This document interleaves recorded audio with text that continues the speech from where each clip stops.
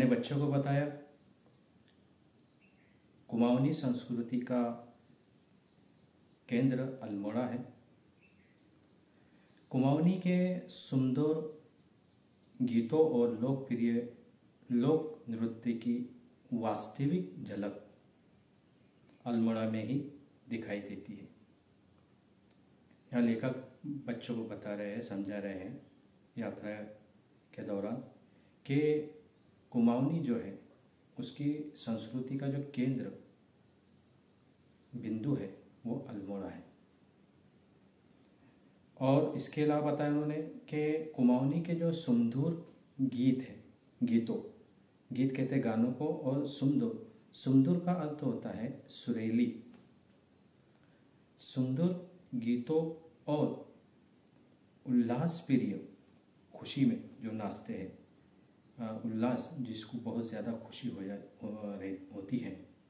उल्लास प्रिय लोक नृत्य, जो वहाँ के लोग हैं, उनका जो नाचने का तरीका है, उसकी वास्तविक झलक। यहाँ पर शब्द आया, वास्तविक वास्तविक का अर्थ होता है हकीकी।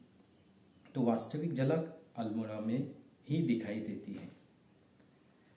अल्मोड़ा ही कुमाऊँ भाषा का प्रमाणिक स्थल है स्थल है, जो कुमाऊनी भाषा है। उसका प्रमुख स्थल जो है, प्रमाणिक प्रमुख स्थल, वो अल्मोड़ा है। कुमाऊनी वेशभूषा का असली रूप अल्मोड़ा में ही दिखाई देता है।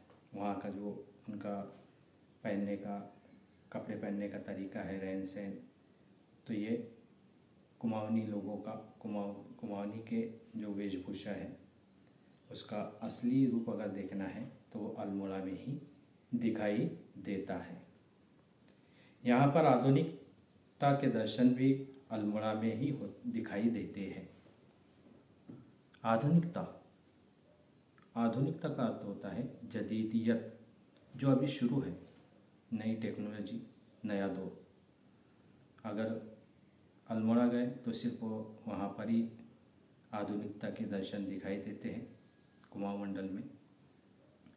इसके अलावा यहाँ का जो पहाड़ी भोजन है, लेखक बता रहे बच्चों को कि यहाँ जो खाने का है या पहाड़ी भोजन होता है, भोजन यानी खाना, जो पहाड़ी इलाकों में खाते हैं, वो मिठाई है। और सिंगोड़ी सिंगोड़ी एक उनका खाने का प्रकार है, वो प्रसिद्ध है वहाँ पर।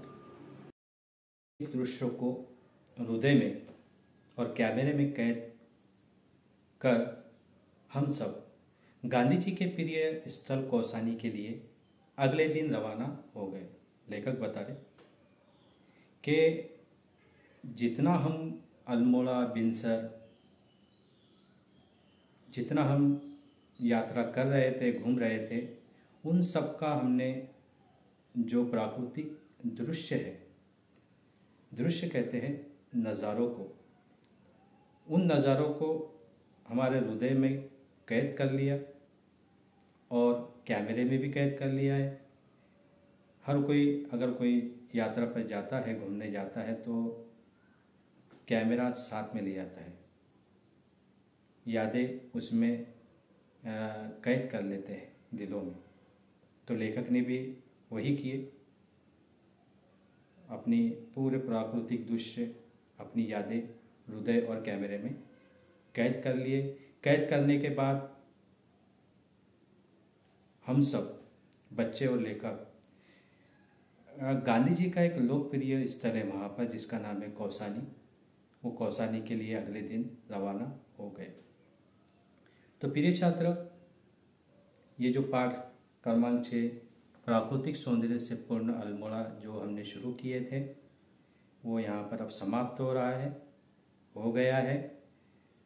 आपसे आशा हुए, आपसे आशा करता हूँ कि आपको ये पाठ अच्छी तरह से समझ में आ गया होगा।